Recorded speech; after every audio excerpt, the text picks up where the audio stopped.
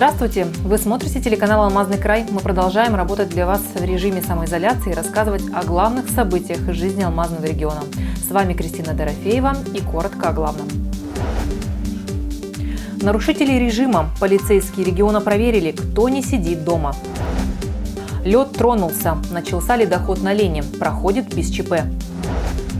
Месяц дома. Как изменил привычные будни семей региона режим самоизоляции. Доставят все. Почта России расширяет список услуг из-за пандемии. Начнем с главных новостей. За минувшие выходные количество заразившихся COVID-19 в Якутии выросло до 170 человек. Три пациента в Якутске находятся в крайне тяжелом состоянии. Двое подключены к аппаратам искусственной вентиляции легких. В Ангаласском районе подтвердился диагноз у сотрудника районной больницы. В медучреждении, где он работает, введен карантин. При этом в Алдане четверо пациентов выписаны после выздоровления. Напряженной остается обстановка на Чайдинском месторождении. Там взяты анализы 10,5 тысяч работников. Результаты ожидаются. Вместе с тем, вот, тяжелые больные с Чайндинского месторождения, они сегодня проходят лечение не только в Ямало-Ненецком округе, но и в республике Саха-Якутия. У нас порядка 50 с лишним людей уже на сегодняшний день э, с Чайндинского месторождения проходят лечение в больницах Ленска и города Якутска.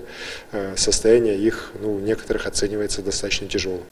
27 апреля глава Якутии внес изменения в указ о режиме повышенной готовности. Теперь в Миринском районе граждане обязаны соблюдать дистанцию не менее метра друг от друга в общественных местах и транспорте. Исключение – легковое такси. Правила ужесточены для регионов, где действует режим повышенной готовности, обязательной самоизоляции и карантина.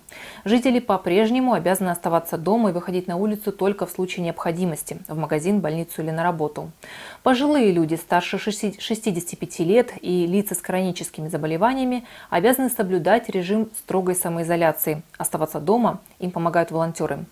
Также Айсан Николаев установил в Мирнинском, Ленском и ряде других районов Якутии обязательный масочный режим. К сожалению, много поступает жалоб со стороны и жителей, и контролирующие органы постоянно это видят, что масочный режим вот э, именно в торговле, к сожалению, не всегда выдерживается со стороны э, непосредственно самих э, предпринимателей. Я считаю, что вот это надо приводить в порядок. Масочный режим – это обязательное сегодня условие. Добавим, организации, которые работают в эти дни, должны нанести специальную разметку в здании и установить специальный режим допуска. Также работодатели обязаны обеспечить работников средствами индивидуальной защиты. Утвержденные правила будут действовать до отмены режима повышенной готовности. К другим темам на территорию Республики Саха-Якутия вошел ледоход. Утром 27 апреля лед начал движение в районе поселка Витим. В этом году движение льда началось на 13 суток раньше многолетних значений. Так, в 2019 году он пересек границу республики 9 мая. С, начала, с началом ледохода в Ленском районе, который встречает его первым, вводится режим повышенной готовности. К вечеру 27 апреля в Ленск прибыла оперативная группа, которая отслеживает прохождение ледохода на реке. За двое суток спасатели дважды облетали акваторию реки на вертолете. Теперь об обстановке на Лене и других реках Якутии специалисты будут ежедневно докладывать в Центральное управление МЧС России. По данным на 14 часов 28 апреля нижняя кромка ледохода находится у поселка Пеледу Ленского района, а верхняя – у населенного пункта Визирный Иркутской области. За сутки ледоход продвинулся на 121 километр. В районе Ленска его ждут 30 апреля или 1 мая. В состав оперативной группы входит 15 человек, в том числе команда специалистов-взрывников. На дежурстве в городе Ленск находится вертолет Ми-8 Хабаровского авиационно-спасательного центра. Для проведения гидрологического мониторинга на реках Лена в зоне ответственности оперативной группы привлечено 10 гидрологических постов. В Мирном, как показывают ежедневные рейды полицейских, большинство горожан не выходят из дома без особых причин. Но остаются и те, кто пренебрегает правилами. Какие меры к таким людям применяются сегодня, узнавала Иванна Филиппова. Это у нас уже есть один случай, а если вот, вот ну, мало ли что, тем более здесь в парке сколько людей гуляет. И никто не, и все без маски, вы посмотрите, сколько деток, сколько... Конечно, и о том, почему опасно гулять в парке или на улице, сотрудники полиции объясняют всем, независимо от возраста. Многие относятся с пониманием. В принципе, люди спокойно реагируют, в основном молодежи очень много. А если люди в возрасте выходят, то это выходят те, у кого там, может, действительно там сердце больное или еще что-то там хотят посидеть. Конечно, говорят, что ну, у нас же не карантин введен, но стараемся объяснять, что у нас полная самоизоляция. Чем отличается карантин от самоизоляции? Первый подразумевает жесткую ограничительную меру. Его должны соблюдать те, кто вернулись из стран с неблагополучной эпидемиологической обстановкой или контактировали с заболевшими COVID-19. В течение 14 дней запрещено выходить из дома. Что касается самоизоляции, его ввели в России 30 марта для всех категорий граждан. Им разрешено при крайней необходимости выходить из своих жилых помещений, ну то есть квартир, да, до ближайшего магазина сходить до аптеки сходить, там купить лекарства, или бы, э, либо выгулять своих домашних животных, но не далее, чем 100 метров от их, ну, от, от их места жительства. С 1 апреля вступил в силу федеральный закон, который значительно ужесточает ответственность граждан за нарушение режима самоизоляции. Предусмотрены штрафные санкции. Однако ежедневные рейды по городу носят скорее разъяснительный характер. Если вы готовы идете, надевайте маску, перчатки. А вот тем, кто не соблюдает режим самоизоляции после возвращения с других регионов или контакта с зараженным ковид, меры ужесточены. Если правоохранительные органы составят протокол о повторном нарушении режима, разъяснить правомерность своих действий граждане смогут только в суде. 20.6.1 статья. То есть эта статья предусматривает на первый раз предупреждение, потом на, на второй раз уже э, по усмотрению судьи, но ну, как э, положено уже пойдет как бы, ну, уже более жесткие меры, там уже будет предусмотрен штраф уже от тысячи рублей. Полиция не уполномочена накладывать да, штрафы. Штраф накладывает, э, штрафы накладывает суд, но мы, когда фиксируем правонарушение, мы осуществляем сбор материалов, весь собранный материал мы на следующий день направляем в районный суд, не, ну, не городской, а районный суд, он рассматривает вот эти вот санкции по нашим статьям. Ситуация в республике по-прежнему остается сложной. Количество зараженных COVID-19 неуклончиво растет. По словам экспертов, главная составляющая по борьбе с инфекцией – общая ответственность граждан. Только самоизоляция позволит предотвратить распространение коронавируса. Ивана Филиппова, Марина Крутихина, Денис Сиротин. Телеканал «Алмазный край». В России можно подводить итоги первого месяца самоизоляции. Все это время российские семьи оставались дома и учились совместному проживанию по новым правилам, когда все находятся дома 24 часа. Освоено дистанционное обучение и семейный досуг. Появляются и конфликты. Какие правила нужно соблюдать в семье в период самоизоляции, чтобы сохранить здоровые отношения, расскажет Олеся Васева. Я робот из космического десанта. Давай вместе защищать планету.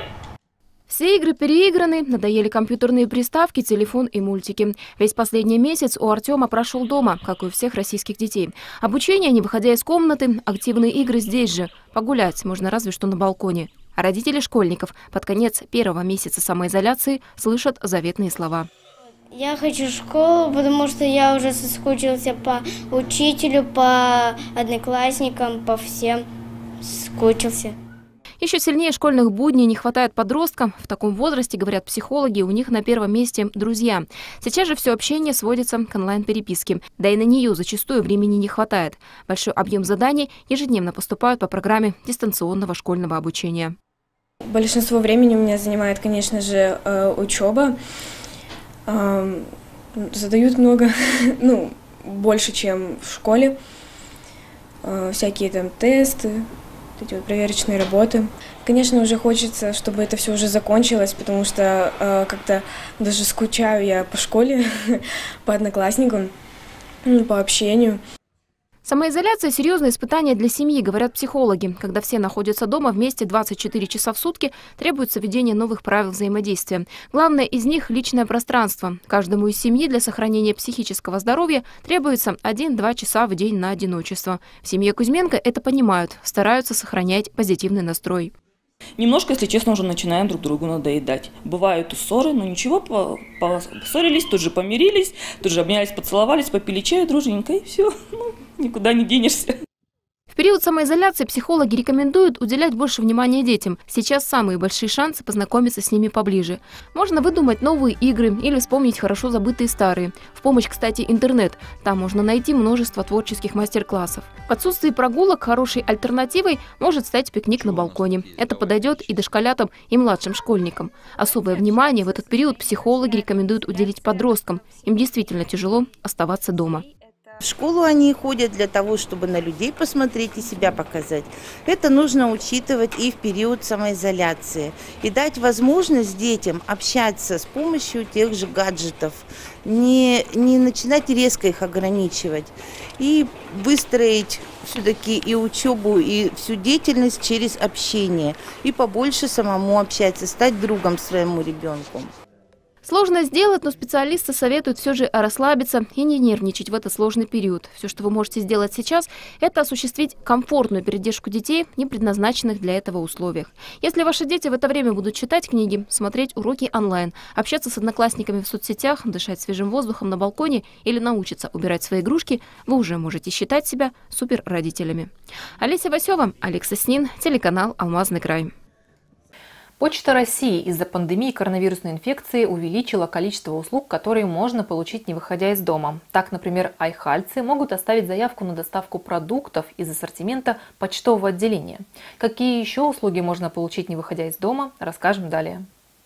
Ежедневно Инна Соколова преодолевает 13 тысяч шагов. Это примерно 9 километров. К такой нагрузке девушка привыкла, хоть и работает почтальоном всего два месяца. В дни самоизоляции Инна разносит не только письма или газеты, доставляет и посылки до 2,5 килограммов тем, кто в этом нуждается. Услуга обойдется 100 рублей. Клиенты остаются довольными. Держите ваша посылочка и квитанция. Спасибо большое. Ну, пожалуйста. Хороший сервис. До свидания. Айхальская почта работает в особом порядке. Режим работы сократили. Теперь операторы трудятся с 9 до 18 часов, 5 дней в неделю. В общий зал пускают не больше 4 человек. Посетителям рекомендуют соблюдать дистанцию. Для этого на полу нанесли специальную разметку. Предпринимаются меры для защиты здоровья сотрудников и клиентов. В отделении регулярно проветривается помещение, проводится влажная уборка и дезинфекция. Сотрудникам выдаются маски, перчатки и санитайзеры. Чтобы не посещать почтовое отделение в период пандемии, увеличили срок хранения посылок. Теперь в почтовом отделении они могут храниться до 60 дней. Совершенно бесплатно доставят почтальоны и пенсии на дом. К тому же с собой у сотрудника почты мобильный почтово-кассовый терминал. Помогут почтальоны оплатить и другие услуги. На дому можно оплатить коммунальные платежи, оформить страховки и подписку на любые издания. Сейчас э, у нас идет э, льготная подписка на второе полугодие 2020 года. Почта России рекомендует оставаться дома и воспользоваться цифровыми сервисами. Только в апреле айхальские почтальоны доставили около 250 пенсий на дом и 70 посылок. Оформить доставку можно на сайте или в мобильном приложении «Почта России». Альбина Шарафединова, Денис Хазов, телеканал «Алмазный край». Власти удачного готовятся к благоустройству поселка. Как только сходит снег, администрация города инспектирует объекты, отремонтированные в прошлые годы. После зимы хорошо видны недоделки подрядчиков и обнажившиеся новые проблемы. Так, в этом году мэрия осталась недовольна работами по покраске фасадов домов. Экспертиза показала, технология работ соблюдена, но, возможно, проблема в качестве самой краски. Пришла в негодность тротуарная плитка и фрагменты полотна на проезжих частях. Недочеты администрация собирает неспроста. Гарантийный срок по, больш... по большинству объектов – 5 лет. Выявленные недостатки власти города планируют исправить за счет подрядных организаций, выполнявших работы. Отстаивать права администрации удачного приходится и через суд, согласно законодательству. За свой счет подрядчик устраняет эти недостатки.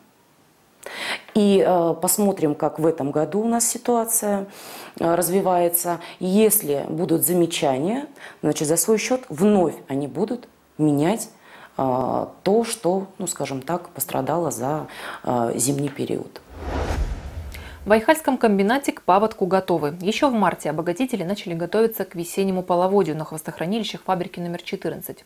На участке зачистили так называемые нагорные канавы. Они отводят талые воды от хвостохранилища.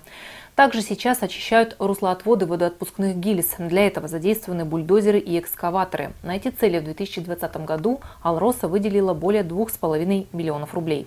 Противопаводковые мероприятия проводят и на хвостохранилище обогатительной фабрики номер 8. Хотя фабрика и остановлена, восьмая, э, хвостохранилище продолжает действовать, и мы также не имеем права допустить и попадание природной воды в хвостохранилище, что может привести к переливу и размыв дамбы, это в худшем случае. И поэтому у нас э, пока, пока до полной рекультивации хвостохранилище она будет работать, и контроль как за работающим хвостохранилищем за ним остается. На этом все. Новости региона доступны в интернете. Подписывайтесь на Алмазный край в Инстаграм, ВКонтакте и Ютуб. До встречи.